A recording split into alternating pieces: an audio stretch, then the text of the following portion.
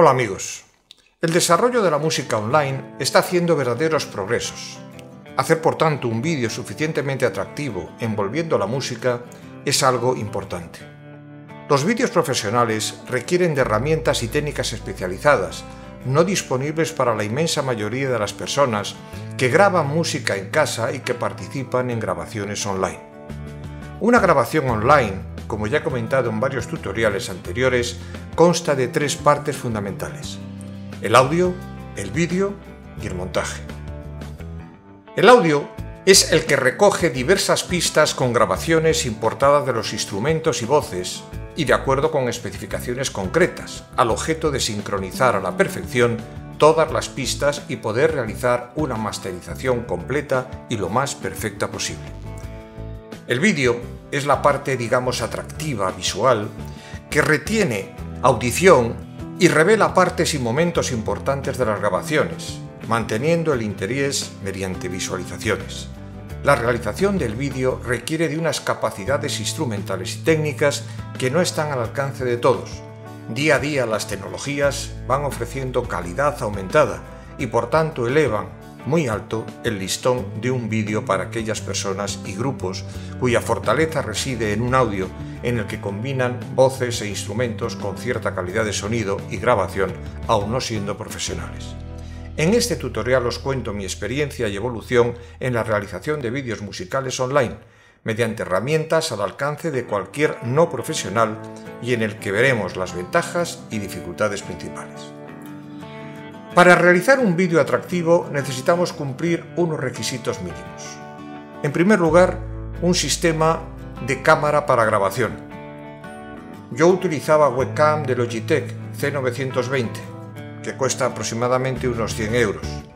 Y aunque tiene unas características muy interesantes, finalmente la he desechado por sus importantes inconvenientes que me han hecho emplear mucho tiempo. Las grabaciones de vídeo son estupendas, 30 fps, Full HD, enfoque automático, corrección luminosa y otras muchas ventajas. Pero todo se empezaba a quebrar cuando salía a relucir la falta de sincronización entre el vídeo y el audio. Aun empleando un sistema de grabación propio, el de la webcam es francamente pobre, el desfase es importante y obliga a trabajos complicados para un ajuste mínimo de calidad. Yo he encontrado una solución estupenda con mi móvil, este tiene una resolución mucho más alta y aunque no voy a emplearla, es más que suficiente para las herramientas de vídeo de las que hablaremos a continuación empleando Full HD. Aunque para mí la mayor ventaja de la grabación de vídeo con el móvil es la inexistencia de desfase entre el vídeo y el audio del móvil, lo cual proporciona una enorme ventaja. Cualquier vídeo realizado con un móvil aceptable, Ultra UHD, es prácticamente perfecto.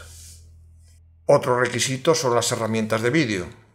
Muchas vueltas he dado para decantarme por una herramienta en la que pueda confiar y donde se puedan generar vídeos de cierta calidad. Hacer mezclas, efectuar movimientos de las imágenes, crear efectos, etcétera, etcétera. Finalmente me he decantado por Sony Vegas Pro. El precio es muy variable dependiendo de la fórmula contractual. Se puede adquirir realmente económico en versiones que no sean las últimas pero que son muy similares a las siguientes, y aconsejo mirar con detalle y cuidado el vendedor y su producto, ya que puede variar el precio entre menos de 100 euros y unos 500 euros.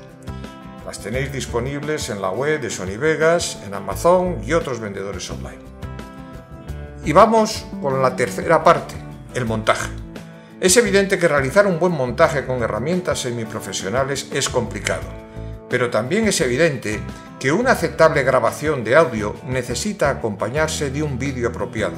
No es muy recomendable montar un vídeo pobre en imágenes, con bajas resoluciones, sin mezclas, imagen tras imagen, efectos muy sencillos, etc., pues estamos perjudicando de forma importante la parte de mayor interés que es la grabación del audio. En este tutorial me voy a referir a cómo hago los montajes de los vídeos para grabaciones con múltiples instrumentos y voces aplicando Sony Vegas Pro. En primer lugar, es necesario que así como cada participante envía una o varias grabaciones de alta calidad .wav para reflejar su parte por ejemplo, en batería he tenido hasta 8 tracks en función de los micros empleados, etc., envíe también un vídeo. Este vídeo suele hacerse normalmente a posteriori, empleando como backing track el audio que sirvió de base para las grabaciones del audio, y este backing track debe ser audible. Esto es fundamental, pues para realizar el ajuste del vídeo, como primera medida deben de sincronizarse los audios de cada vídeo con el audio final. Una vez realizado esto, con precisión, se observan los diferentes desajustes entre las imágenes de cada vídeo y el audio. En segundo lugar, se va ajustando cada vídeo, su imagen, tratando de que coincida al máximo con el audio, que ya es único para todos los vídeos. Una vez realizado este ajuste lo más fino posible, que seguramente es la parte más complicada de todo el montaje, se procede a realizar el montaje de efectos e imágenes a lo largo de la canción. Abriendo un paréntesis, quiero indicar la complejidad de algunos ajustes.